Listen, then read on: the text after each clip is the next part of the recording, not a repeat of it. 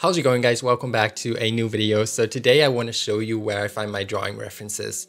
So many of you have asked me if I use any references at all for my drawings and the answer is yes. So for about 90% of all of my drawings, I have used references.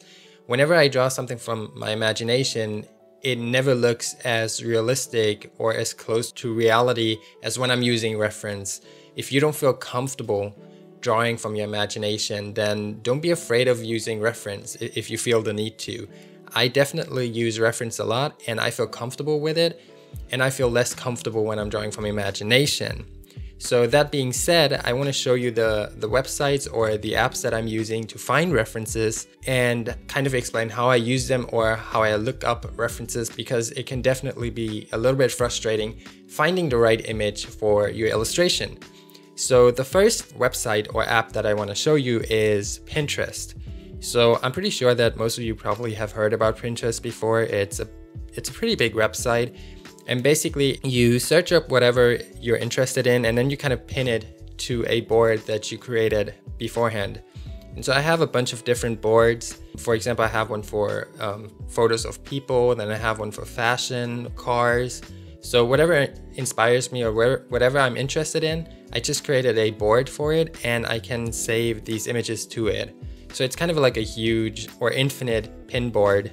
So basically what I do when I go onto Pinterest is I click on the search field up here and then I just type whatever I'm looking for. So for example, I can type portrait in here. So let's just type portrait and see what we'll end up with. Oops. Okay, so if I type portrait, it's searching for a bunch of images and then it's showing me these images that are related to, to whatever I've searched for. And here we can already see like a bunch of like awesome images and we can just pick from them. And if we're interested in any pictures that are shown here, we can just kind of click on here and then hit save and you choose your folder and you save it to the corresponding board that you want to save it to.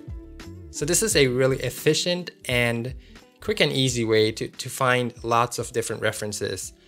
Um, to me, it's still a little bit frustrating looking for references because I'm always looking for a certain pose or a unique person, a unique look. So it always takes me about 20 minutes to find the right reference, no matter which site I'm using. But this is definitely the website that I'm using the most when I'm looking for references. The other website that I'm using is We Heart It. So I don't know if you guys know about We Heart It. It's basically similar to or very similar to to Pinterest, but it's a little bit different. I, I think the audience, the people who are using the site are interested in other things. Um, it's more girly, I have to say, but the concept is the same as on Pinterest. It's just that the images that are being uploaded there are a little bit different.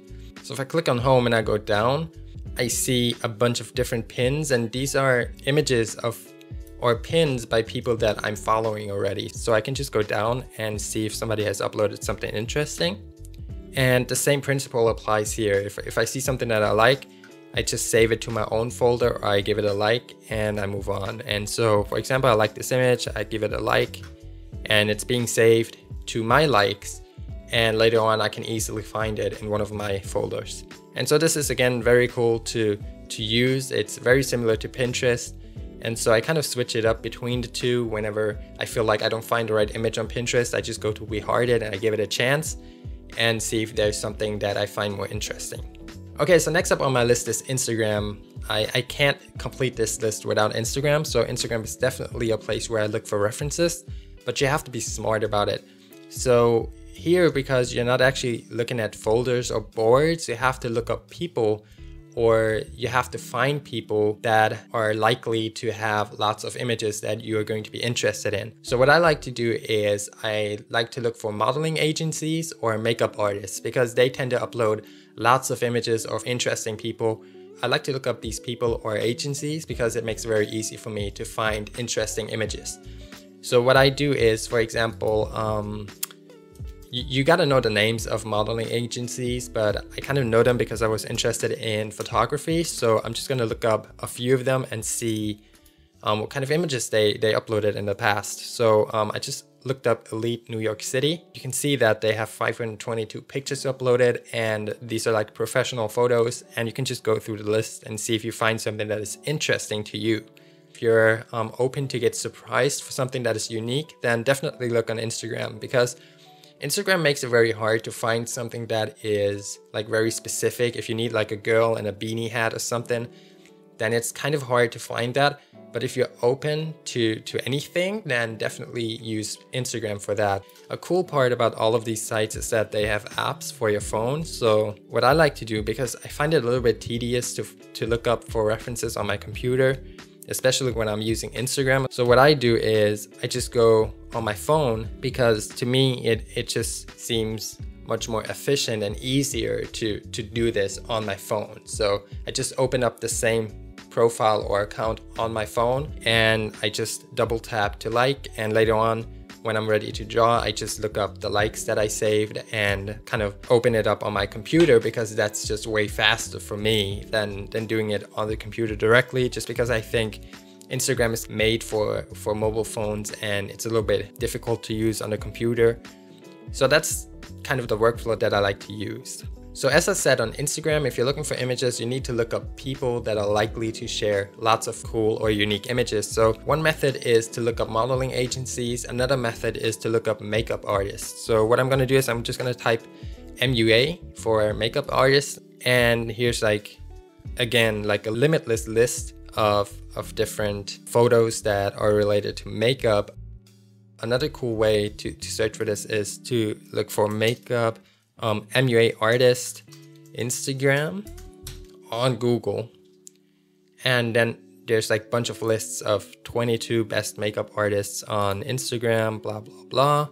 So for example, we got um, this person right here and she's a makeup artist. So we just go down her list and she has like cool images. I like this one, for example, and I just give it a like. And um, this is how I do it basically. I just try, I, I try to think as a regular Instagram user. I don't go in there with an artist's mind because artists they tend to use uh, they tend to use like search phrases such as drawing reference or art portrait or whatever and it doesn't work that way. You need to use these websites as a standard or a normal user and use the same words as they would use. So a normal user would look up something like makeup or beauty or pretty face, whatever. I don't know, like something like that. And you need to be smart about it and kind of change your mindset when you're looking for images on these sites. And so the last website that I'm using for references or to find references is Google Images. Google Images is this huge library. It's basically the internet in itself. And to me, it became harder and harder to find what I'm actually looking for but it's still one of the best sources for anything. So whatever it is that you're looking for, um, you probably already know about Google. I mean, like, how can you not? But definitely use Google for for your references. And here again, you have to be smart about it, but you can kind of go in there with a more open mind and search for anything. So just be creative with the words that you're choosing for your search. To me, it's always super difficult to find exactly that image that I want. So it takes me forever to find good reference, but these are the sites that I use the most whenever I'm starting a new illustration.